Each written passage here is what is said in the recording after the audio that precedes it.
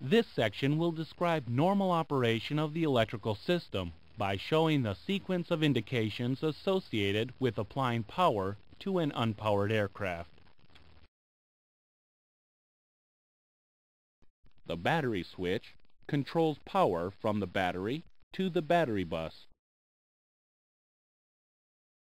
With the battery switch in the off position, the hot battery and hot battery transfer buses are powered by the aircraft battery. Moving the battery switch to the guarded on position applies battery power to the battery bus, the static inverter, and the standby horizon. When external power is connected to the aircraft, the external power connected light illuminates on the external power panel. The external power not in use light illuminates when external power is connected but not being used to power the aircraft.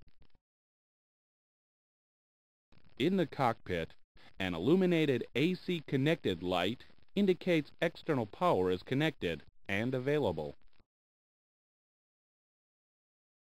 AC voltage and frequency are monitored on the AC voltmeter and frequency meter. The AC meter selector controls the selection of the AC power source displayed on the AC meters. Limitations for AC power are a voltage of 115 plus or minus 5 volts and a frequency of 400 plus or minus 8 cycles per second.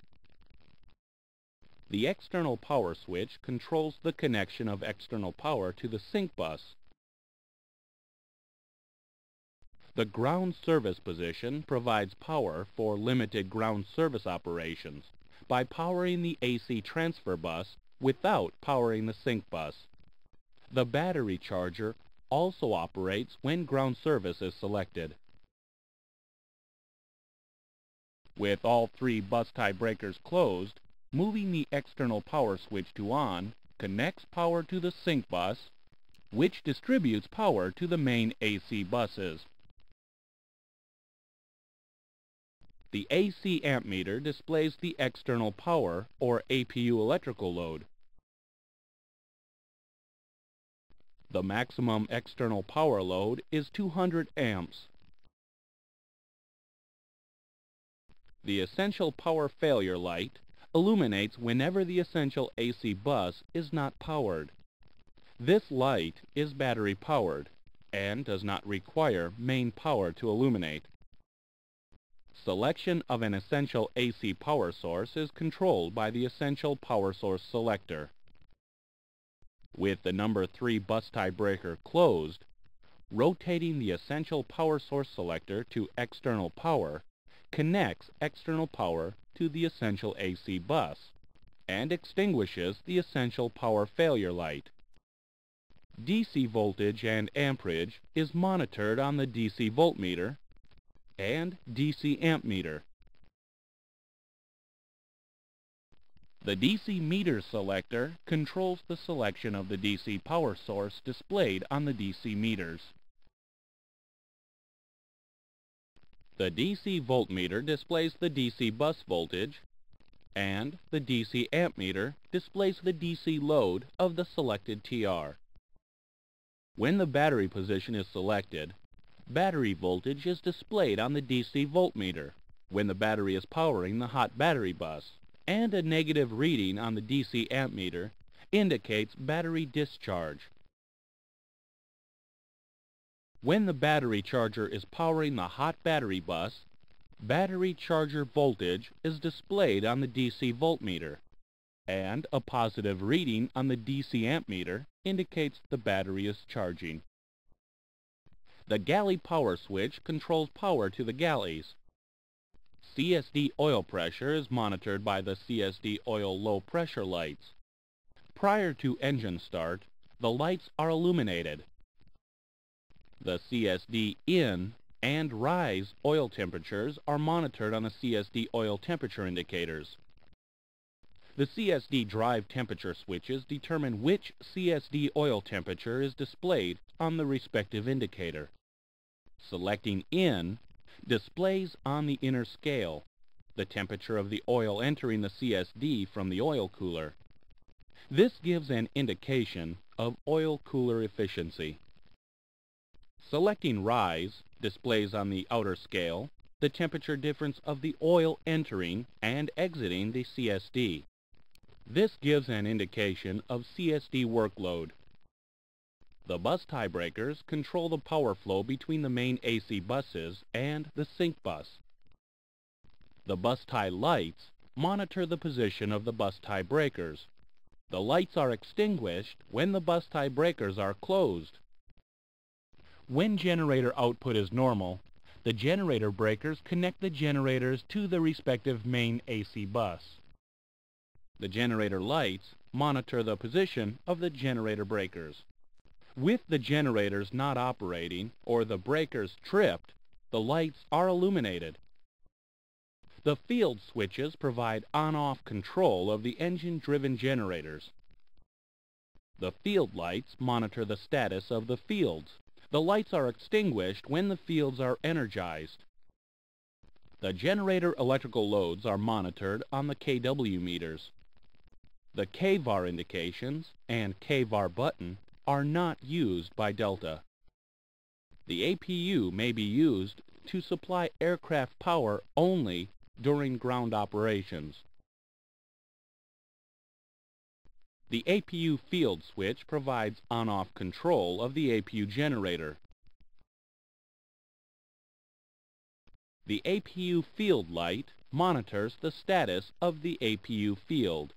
The light is extinguished when the field is closed. The APU generator switch connects or disconnects APU electrical power from the sync bus. The APU generator light monitors the APU generator breaker position. The light is illuminated when the generator breaker is tripped. With the APU operating, Generator output is verified by rotating the AC meter selector to APU. With external power connected to the sync bus, prior to closing the APU generator breaker, the electrical load must be below 165 amps. Moving the APU generator switch to close trips external power from the sync bus extinguishes the APU generator breaker light, trips the external power switch to off, and connects APU power to the sync bus. APU load on the sync bus is displayed on the AC ammeter. Moving the essential power selector to APU places APU power on the essential AC bus. During engine start, when CSD oil pressure reaches a predetermined value, the respective low pressure light extinguishes, and the CSD oil temperature indication increases. After all three engines are started, engine-driven generator output is monitored by rotating the AC meter selector switch to the respective generator position. A voltage regulator and frequency load controller automatically controls generator voltage and frequency. Prior to closing the generator breakers, moving the essential power selector to any engine generator position provides power from the respective generator to the essential AC bus.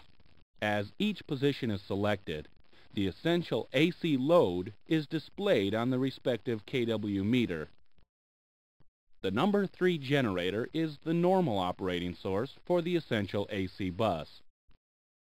Moving a generator switch to close trips APU power from the sync bus, extinguishes the respective generator light, connects engine generator power to its main AC bus and to the sync bus, and displays an electrical load on the respective kW meter. The synchronizing lights monitor the phase difference between the power source on the sync bus and the selected source on the AC meter switch. The sync lights are extinguished when the power sources are in phase. Generators must be in phase before they can be safely connected or paralleled to the sync bus. Prior to closing the remaining generator breakers, the respective generator frequency may be adjusted using the frequency control knobs. This adjusts generator speed and puts it in phase with the generator powering the sync bus. With all three engine-driven generators supplying power, the generator lights are extinguished, and an electrical load is displayed on each kW meter. When the engine-driven generators are operating in parallel, electrical loads are automatically balanced by a load controller, and generator frequency should not be manually adjusted. The maximum electrical load with all three generators operating in parallel is 102 kW, with two generators operating in parallel, 54 kW, and with any generator operating isolated, 36 kW. Now let's try a few normal operation questions.